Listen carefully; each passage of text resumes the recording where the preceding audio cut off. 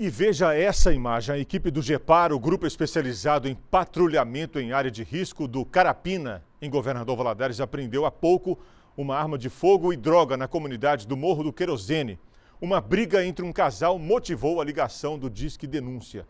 Durante o patrulhamento, os militares foram informados que estaria acontecendo uma discussão e o suspeito estava agredindo a companheira no beco Nossa Senhora Aparecida os militares chamaram diversas vezes na casa e pouco tempo depois a dona, que é mãe do morador, autorizou a entrada dos militares que realizaram uma busca minuciosa no endereço onde foram encontrados e apreendidos uma pistola calibre .40 municiada com seis cartuchos e uma porção de substância semelhante a maconha. O suspeito não foi localizado e o material encaminhado para a delegacia de Polícia Civil da cidade.